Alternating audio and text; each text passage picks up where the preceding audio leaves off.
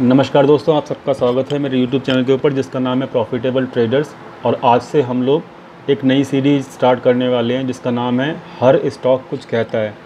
तो इस सीरीज़ के अंदर हम लोग स्टॉक्स की चर्चा करेंगे और जो रिक्वेस्ट सबसे ज़्यादा, जिस स्टॉक के बारे में सबसे ज़्यादा रिक्वेस्ट की जाएगी, उस स्टॉक को हम यहाँ पे चयन करेंगे और हम लोग उस स्टॉक की चर्चा करेंगे और जानने की कोशिश करेंगे कि वो स्टॉक जिसका चयन किया गया है, उस स्टॉक के अंदर क्या चल रहा है, क्या नहीं चल रहा। तो इस सीरीज़ के अंदर हम लोग स्टॉक के एनालिसिस भी सीखेंगे। और कोई भी अगर रिटेल ट्रेडर फंसा हुआ है किसी भी स्टॉक के अंदर, या फिर किसी भी नए स्टॉक के अंदर चर्चा कर इन्वेस्ट करना चाहता है तो उस स्टॉक की हम यहाँ पर चर्चा कर, करेंगे आगे आने वाले दिनों के अंदर।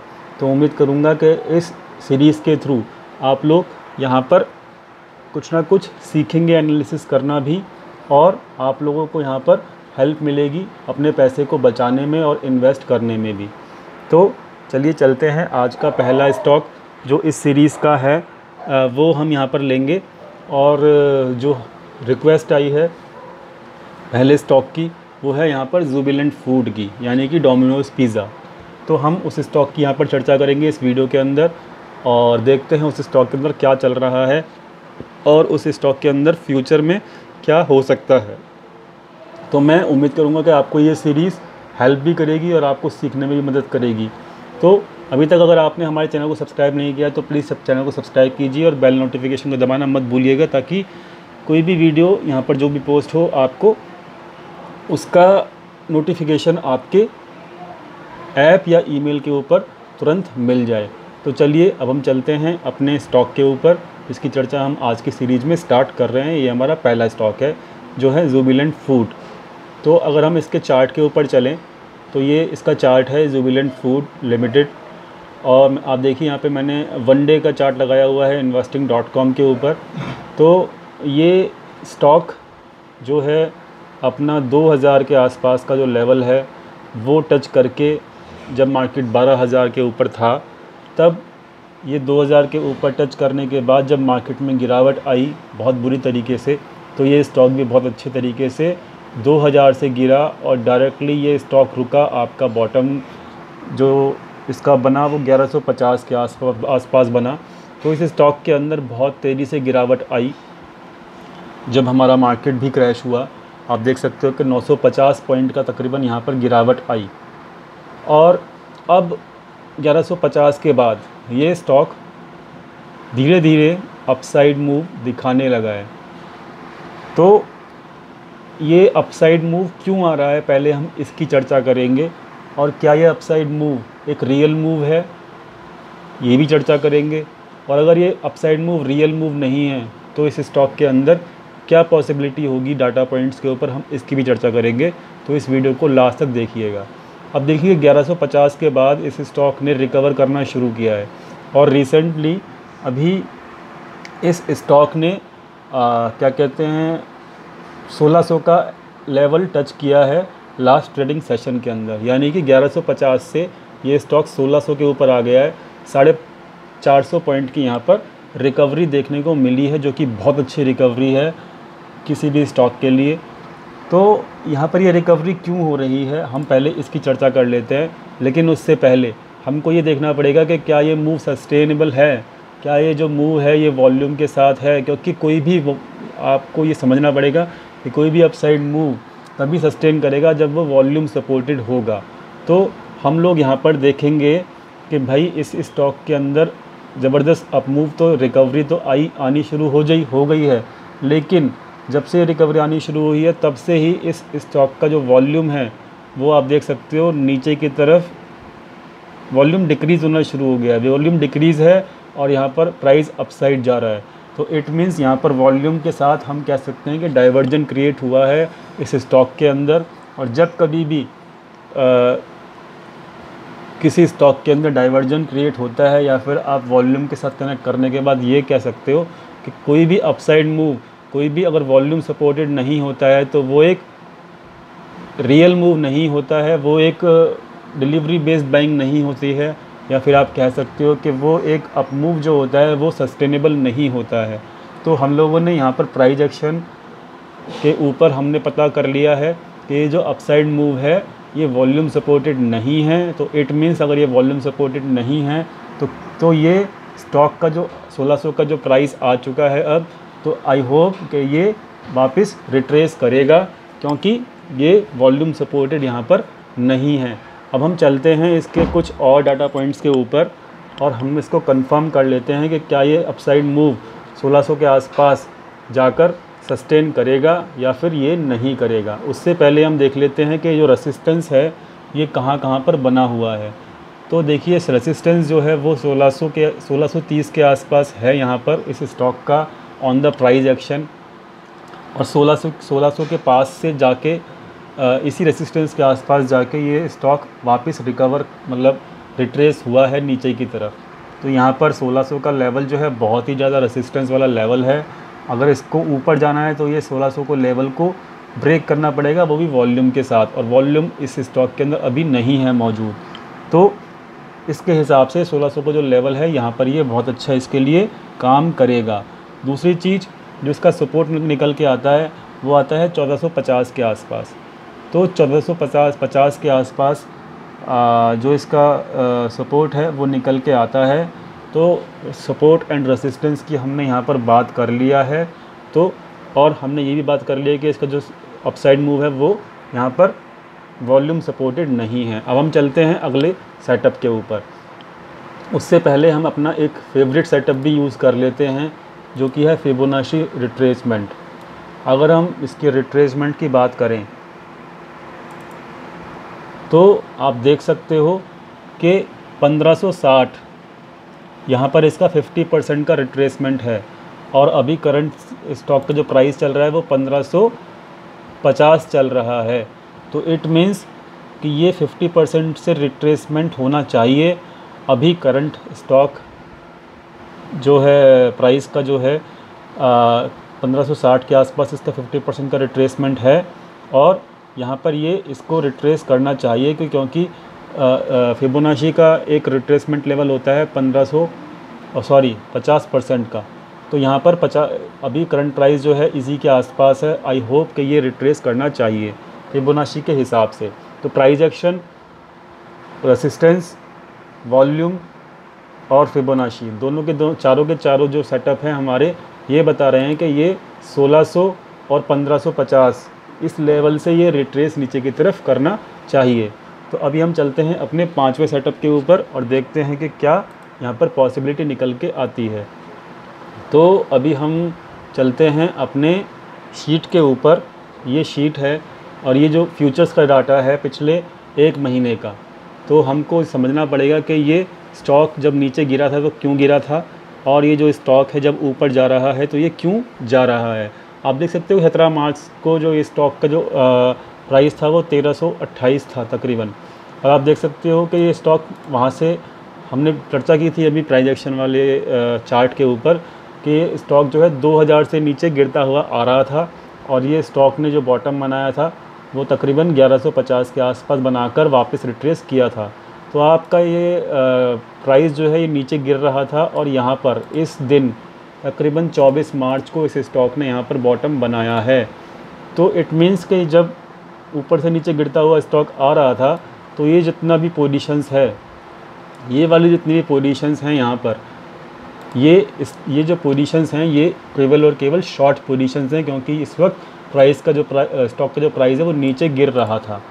तो ये शॉर्ट पोजीशंस थी फ्यूचर्स के अंदर, लेकिन जब इसने बॉटम बना के ऊपर जाना शुरू किया, तब आप देख सकते हो कि ये जो चेंज इन ओपन इंटरेस्ट है, जो कि मतलब ये शॉर्ट पोजीशंस थी इस स्टॉक के अंदर, वो स्टॉक ये पोजीशंस इस स्टॉक के अंदर ट्वेंटी सिक्स मार्च से वापस कम होनी शुरू हो गई और धीरे धीरे ये जो पोजीशंस हैं, ये वापस माइनस में आनी शुरू हो गई हैं। अगर आप देखोगे यहाँ पर। तो मुकाबले in comparison to previous positions now positions जो है यहाँ पर धीरे धीरे माइनस होनी शुरू हो गई और धीरे धीरे यहाँ पर ये पोजीशंस जो हैं कम होनी शुरू हो गई। तो अगर प्राइस ऊपर जा रहा है, समझिएगा कि प्राइस अगर ऊपर जा रहा है और पोजीशंस भी यहाँ पर कम हो रही हैं तो इसका सिंपल सा मतलब है कि जो शॉर्ट पोजीशन यहाँ पे बनाई गई थी 1200 के आसपास इस स्टॉक के अंदर इन शॉर्ट पोजीशंस को फ्यूचर्स वाली शॉर्ट पोजीशंस को कवर किया जा, रहा है। तो शॉर्ट कवरिंग यहाँ पर चल रही है पिछले 10 से 15 दिन से। शॉर्ट कवरिंग की वजह से ये स्टॉक का प्राइस ऊपर जा रहा है और इसी वजह से हम लोग हम लोगों ने यहाँ पर एक कंक्लूज़न निकाला। हमने यहाँ पर चर्चा भी किया था कि ये जो वॉल्यूम सपोर्टेड अप मूव नहीं है तो क्या ये एक रियल मूव है कि नहीं है? तो अब आपको समझ में आ गया होगा कि ये रियल मूव क्यों नहीं है, क्योंकि यहाँ पर कोई फ्रेश बाइंग नहीं की जा रही है। यहाँ पर एक डाटा पॉइंट्स के ऊपर हमने देख लिया कि प्राइस तो ऊपर जा रहा है, लेकिन फ्रेश बाइंग की वजह से ऊपर नहीं जा रहा है। ये केवल और केवल शॉर्ट कवरिंग की वजह से ऊपर जा रहा है। तो अभी हमको इसकी कहानी समझ में आ गई है प्राइस ये जो ऊपर जा रहा है, क्यों जा रहा है।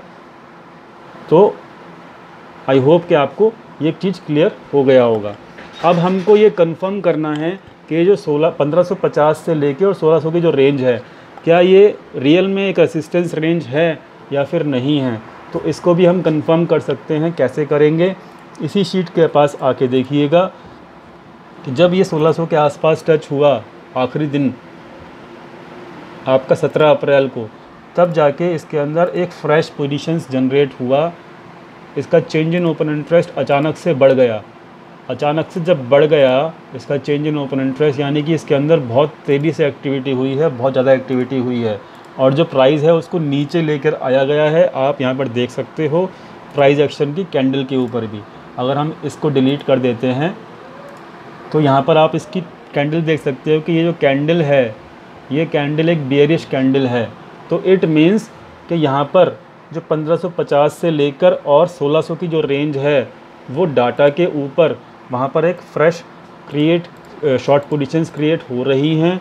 तो आई होप कि अगर फ्यूचर्स के अंदर फ्रेश शॉर्ट पोजीशंस क्रिएट हो रही हैं 1550 से लेके और 1600 के बीच में तो डेफिनेटली ये जो रेंज है, इस स्टॉक के अंदर 1550 से लेके और 1600 की जो रेंज है डेफिनेटली यहाँ पर एक रेसिस्टेंस का काम करेगी। और इसी इसी रेंज को रेसिस्टेंस का काम करेगी या नहीं करेगी, दूसरे डाटा पॉइंट्स के ऊपर भी चेक कर लेते हैं।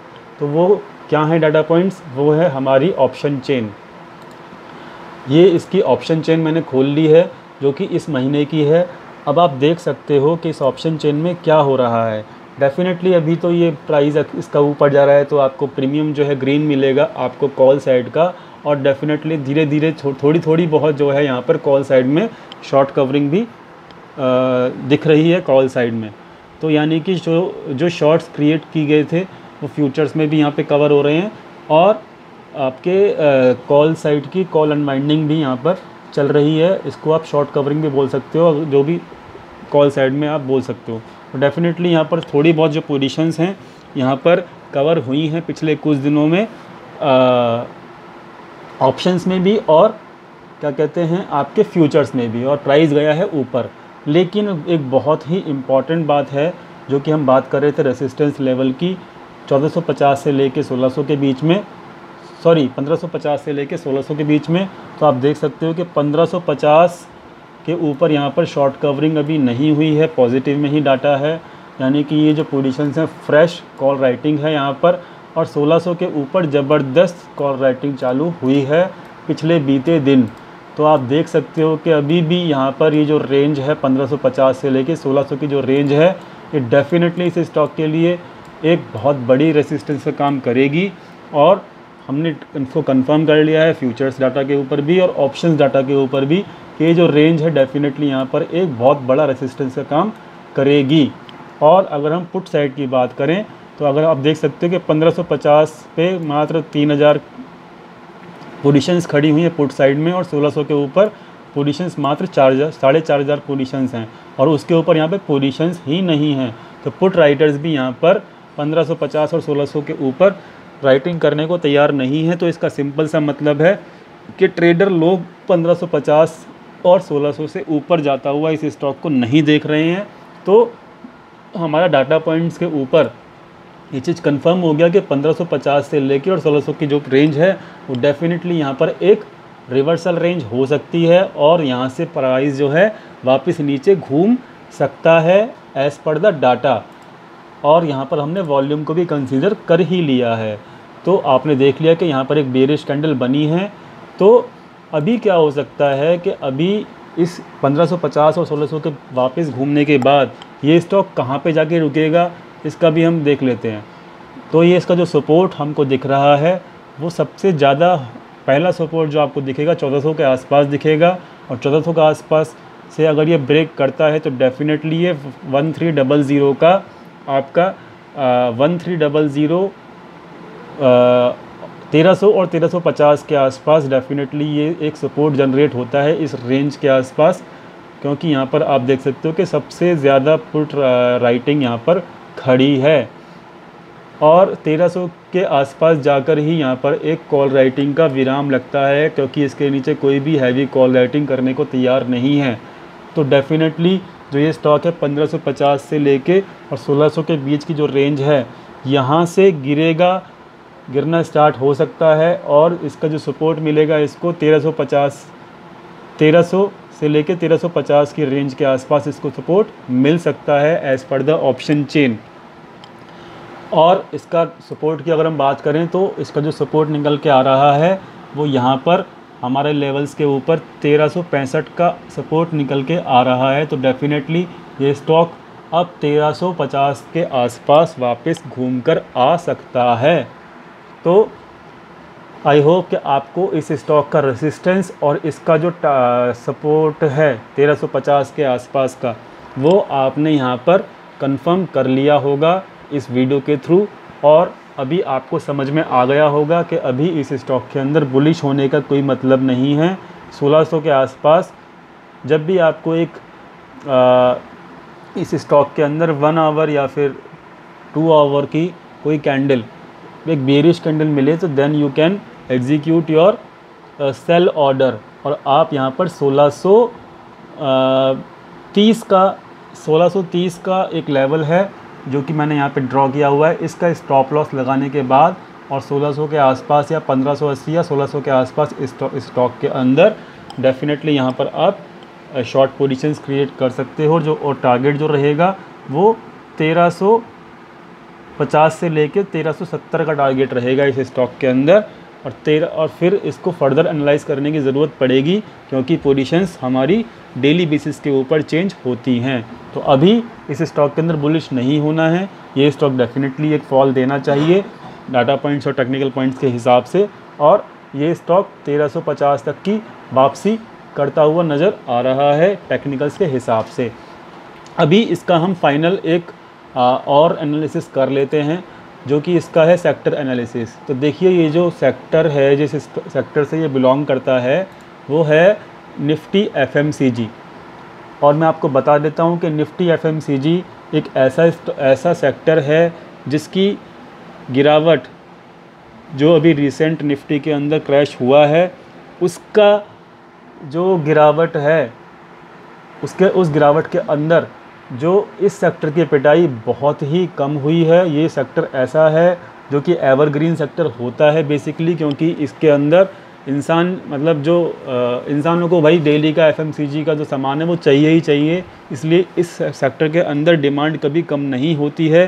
बट हम ये कह सकते हैं कि जो पिज़्ज़ा का काम है, जो डोमिनोज पिज़्ज़ा करता है, जो विलन फ़ूड का जो काम है, वो काम अभी लॉकडाउन की वजह से बंद है तो इसका इम्पैक्ट भी इस स्टॉक के अंदर पड़ना चाहिए। नियर टर्म के अंदर, ये मैं नहीं कहता कि इंट्राडे के अंदर ही पड़ेगा। तो इस स्टॉक का जो रिटर्न है, हम देख सकते हैं कि भाई पिछले एक साल के अंदर इस स्टॉक का रिटर्न भी जो है बहुत अच्छा है। ये कंपनी बहुत अच्छी है और टॉप फोर के अंदर ये आती है और इस स्टॉक का जो रिटर्न है पंद्रह परसेंट पिछले एक साल का है और सोलह परसेंट के आसपास पिछले एक महीने का है। तो डेफिनेटली ये कंपनी बहुत अच्छी है। तो इस स्टॉक इस स्टॉक को आप फ्यूचर के लिए भी जब भी लॉकडाउन खुलेगा तो डेफिनेटली ये कंपनी बहुत अच्छा काम करेगी। आ, और इस इस स्टॉक को आप अपनी वॉच लिस्ट में भी रख सकते हो आ, फ्यूचर के लिए क्योंकि ये स्टॉक एक बहुत अच्छे सेक्टर से बिलोंग करता है और ये स्टॉक जो है बहुत अच्छी कंपनी का फंडामेंटल भी है और रिटर्न्स भी अच्छे हैं इस स्टॉक के। और ये स्टॉक डेफिनेटली लॉकडाउन खुलने के बाद बहुत अच्छा काम करेगा।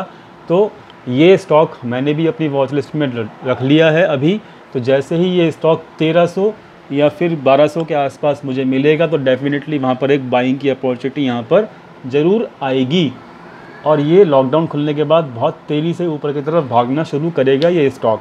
तो डेफिनेटली अभी हमारा सेक्टर एनालिसिस भी हो गया और हर तरीके का एनालिसिस हम लोगों ने कर लिया है यहाँ पर।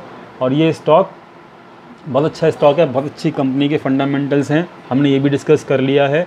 और एक चीज़ मैं डिस्कस करना चाहता हूँ कि आप लोग ये बस समझिएगा कि ये अगले दिन से ही क्या कहते हैं रिट्रेस करना शुरू कर देगा। ये हमारा एक 15 से 20 दिन का व्यू होता है और ये स्टॉक 15 से 20 दिन के अंदर जो है हमारा 1350 का जो लेवल है, वो डेफिनेटली यहाँ पर आ सकता है। तो आई होप ये वीडियो आपको समझ में आया होगा और ये वीडियो के अंदर जो हमने स्टॉक की चर्चा की है, वो स्टॉक किस तरीके से रिएक्ट कर सकता है, ये भी समझ में आया होगा। जो लोग इंट्राडे करना चाहते हैं, वो प्लीज़ इस वीडियो को इग्नोर कर सकते हैं, क्योंकि ये हमारा एक शॉर्ट टर्म व्यू होगा इस सीरीज़ के अंदर। तो यहाँ पर एक स्विंग ट्रेडिंग बहुत अच्छी तरीके से आप एग्जीक्यूट कर सकते हो। तो ये स्विंग ट्रेडिंग के लिए बेसिकली इस तरीके की वीडियो हमारी यहाँ पे इस सीरीज़ के अंदर शेयर की जाएँगी। तो उम्मीद करता हूँ ये वीडियो आपको पसंद आया होगा और वीडियो को पसंद आया तो प्लीज़ शेयर करना ज़रूर, ज़रूर याद रखिएगा अपने दोस्तों के साथ। और वीडियो को लाइक कीजिएगा चैनल को सब्सक्राइब कीजिएगा। मिलते हैं हमारी अगली स्टॉक के नाम के साथ। और इस कमेंट में जो भी स्टॉक का नाम आप चुनना चाहें, वो उस स्टॉक का नाम चुन सकते हो और लिख सकते हो। जो भी स्टॉक का नाम के ऊपर सबसे ज़्यादा लाइक्स मिलेंगे, उस स्टॉक को चुना जाएगा और उस स्टॉक के ऊपर वीडियो बनाई जाएगी। डेफिनेटली आप लोगों को कोई भी स्टॉक समझ में आता है, जिसके ऊपर अगर हमें चर्चा करनी चाहिए तो वो स्टॉक आप यहाँ पे कमेंट सेक्शन में लिख सकते हो। तो अभी के लिए, फ़िलहाल धन्यवाद आपको ये वीडियो देखने के लिए और अभी मैं इस वीडियो को क्लोज़ करता हूँ और मिलते हैं हमारी अगली वीडियो के अंदर। Thank you thank you so much